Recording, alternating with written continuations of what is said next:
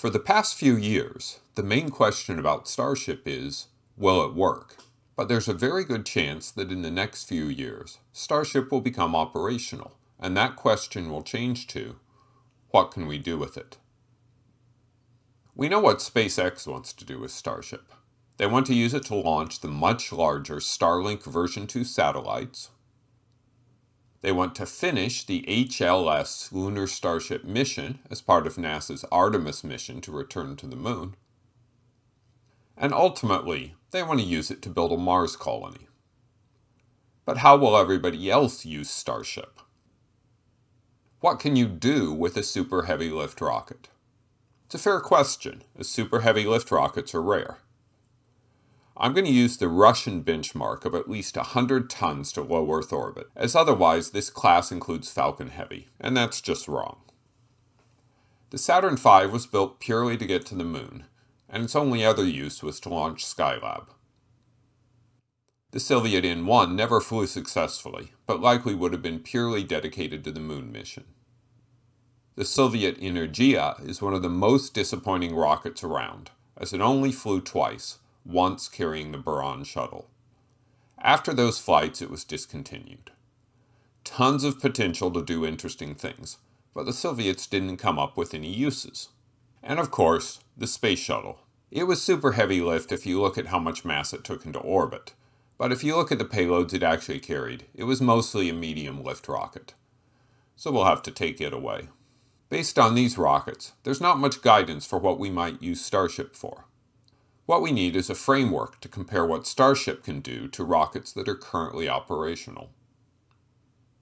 What we're going to be talking about is payloads to various orbits, and we'll be doing comparisons to Falcon 9 and Falcon Heavy, both in their fully expendable modes. Adding in the reusable versions adds a lot of complexity because of the different reuse modes, so I've decided to skip it.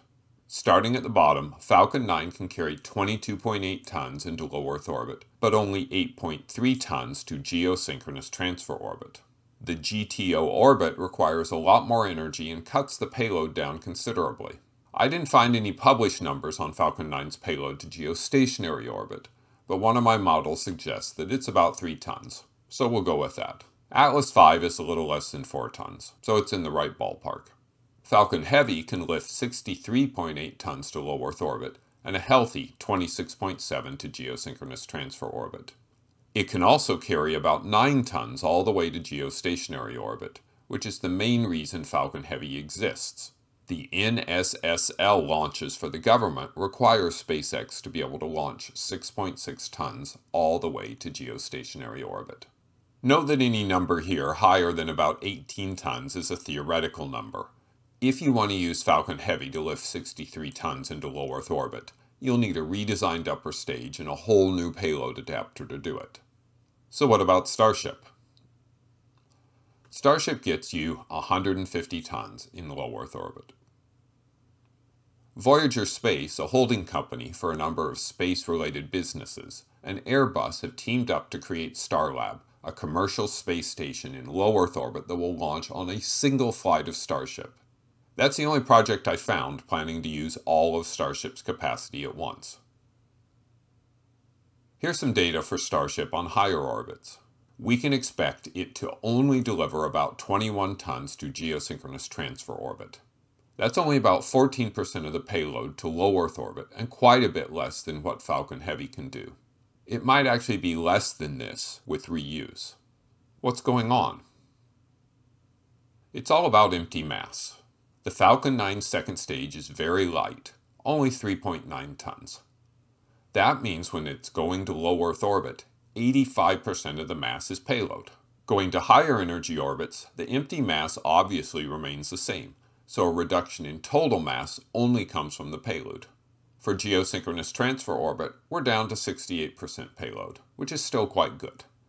Starship is a very different vehicle.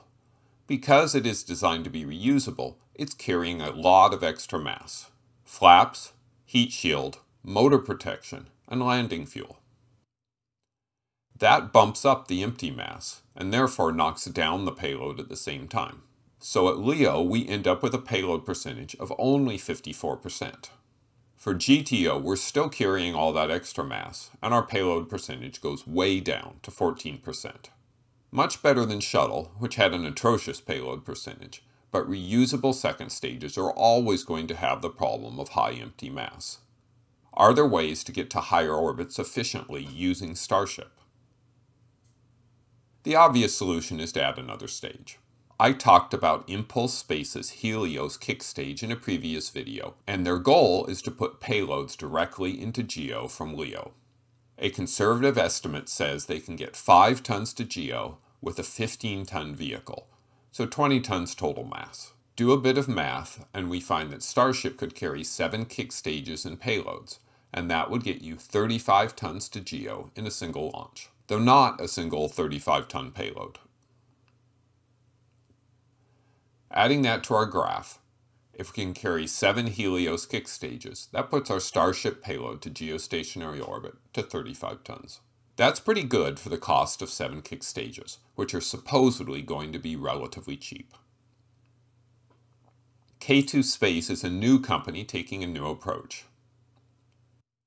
Traditional wisdom assumes that it's expensive to launch a kilogram of mass, and it's expensive to launch large satellites. That has driven satellite bus designs to be light, elegant, and compact. And also hugely expensive. The first Viasat 3 satellite was launched in 2023 on a Falcon Heavy. That satellite cost over $500 million, not including the cost of the Falcon Heavy launch, probably in the $100 million range. If you want the ultimate communications satellite, that may be the only way to do it. This market is in a very strange position. Launching on Falcon 9 costs about $69 million. A communication satellite costs 300 million and up, partly because it's constructed to be as light as possible. What if you could build a satellite using less expensive materials that would do 90% of what your expensive one could do, but it only cost 100 million? That seems interesting, but the satellite manufacturers are in the business of selling the most expensive satellite possible.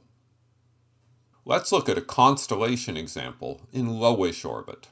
Let's say you build a wonderful constellation satellite at $100 million each, using the same tech as in geostationary satellites.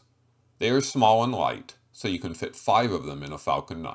That gives a total price to build and launch five satellites at 569 million, or 114 million each. Now let's say you build simple, heavier satellites, and that allows you to build them for 50 million each. But because of their size and mass, you can only fit three on a Falcon 9. That gives you a total cost of 219 million for three satellites, or 73 million each. About 25% cheaper. That is K2 Space's bet. Because the cost of launch is so much lower, you can build capable satellites that are bigger and heavier but will end up being cheaper. Their target is 15 million per satellite. If you could achieve that in this scenario, the cost per satellite drops to $38 million each. Highly optimized expensive satellites make little sense when cost is so cheap. K2 is working on two products. Their mega satellite bus is a flat pack design that will fit 10 satellites in a Falcon 9 fairing, stacked the way Starlink satellites are stacked. It has a one ton payload and a power system that can supply 20 kilowatts of power, an immense amount for a satellite this size.